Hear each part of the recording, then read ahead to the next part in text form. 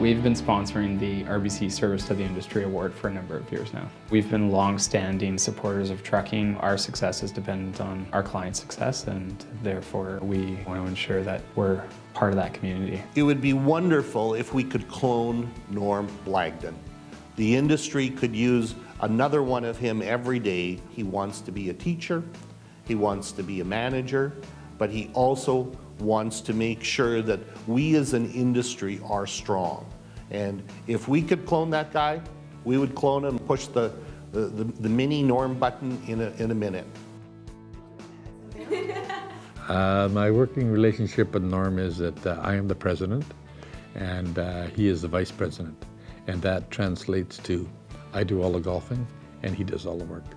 Uh, I've been in the trucking business for 53 years and I've met a lot of uh, wonderful people.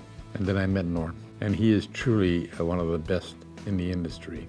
He's totally committed to his job. He, he likes to be around the action. I can't say enough about him. Uh, he's, he's just an energetic person. He's added so much value to our company as he inserted himself immediately as he came into the business and found ways to improve our business in significant areas and did it with a level of integrity and honesty and humbleness that is tough to replicate today. Obviously, I think Norm is a great guy. I married him. but uh, he might know everything about trucking, but he doesn't really convey that. He's got a real sense of humility about what he does know, which makes him very, very approachable, and one of the reasons why he's so much fun to work with. I think Norm's the kind of guy who is one of the most successful people at building relationships I've ever met. And I think being in this industry for him allows him to take those relationships and become profitable out of it.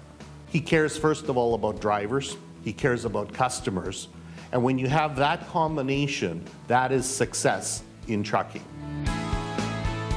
Recipients of the Service to the Industry Award exemplify the conduct that garners the respect and esteem of one's peers and have conducted themselves in such a manner as to have gained the esteem of their fellow members and brought credit to our industry through their contributions. They are nominated by the membership of the MTA and tonight's recipient exemplifies what it means to receive this award.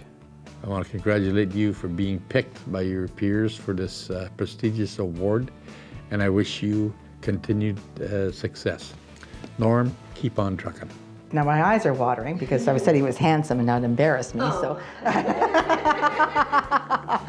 um, go get him, Norm.